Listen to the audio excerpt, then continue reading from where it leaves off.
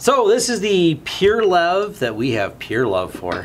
It's like a lever. It's like a lever. a couple pins so you can set heights. We've set it at this height from the beginning. And the goal of this is to crush. First we'll talk about the design and construction. Like you said, it's super heavy duty gauge steel. They got a little rubber thing here and it balances. What does this thing probably weighs like 30, 40 pounds? Uh, hold on. Steve lifts. So we've had this for three or four years now and it has other than scuffing the paint where the hard drives And we've crushed- taken it a lot of places. Oh yeah, we've taken to places when they want the data destroyed on site.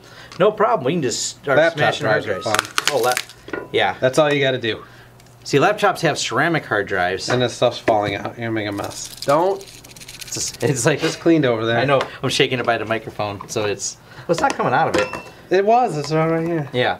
So this is actually we're really happy with this as a device. People have asked me about it, where I get it from. I'll leave a Here we go. This one's got the better sound. Like maraca. It's like a maraca.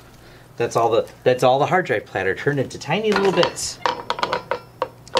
But I just wanted to do a quick overview of it. It works really well. It crushes hard drives great, and it is held up incredibly well. Yeah, it doesn't. You Yeah. can laptop drives. you can stack laptop drives on it, but you're not stacking regular drives. it gives a satisfying crunch. Oh, that one. Oh, yeah. that board came right off. Yep. So it physically destroys everything on there. It breaks it really well. Oh, we got glass everywhere now. Uh, I got a vacuum. It's on the plastic. You It's on the plastic. Shaking it over the car. Look, it also makes it easier to get all the, the uh, magnets out because we like the magnets out of hard drives. They are nice. So now we can pull the magnets out while we're crushing them. Little bits coming everywhere. Yeah. Uh, you probably should wear safety glasses, but I've never had any parts come flying because it's a pretty slow crush, and it's all the forces going down on it. I love that, uh, like when we do the recycle days and we take it with us. We've done this too. The kids love to, you know, From a business. their parents will come. Oh, and yeah. They'll have their kids with them, and I let some of the kids like, you want, you want to crush it yourself? He's like, yeah, that's awesome. Yeah, we've done this at Recycle Days, and it's actually a good business promotion. We'll show up there, and we can just crush hard drives as people bring us computers and things like that. Yeah. We'll crush them right there in front of them.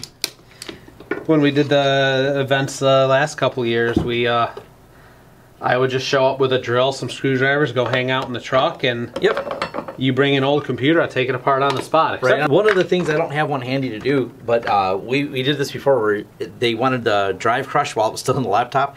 Uh, some of the laptops, the drive's on the edge. We've done it, it is push the hard drive right through the bottom of the Yeah. laptop, uh, and then we just throw them all in a recycling We've done bin. phones. phones, really anything you can want to crush, you can crush right inside of here. Yeah. Uh, definitely effective in terms of destroying data. As you are not getting the data off of a bent smash platter.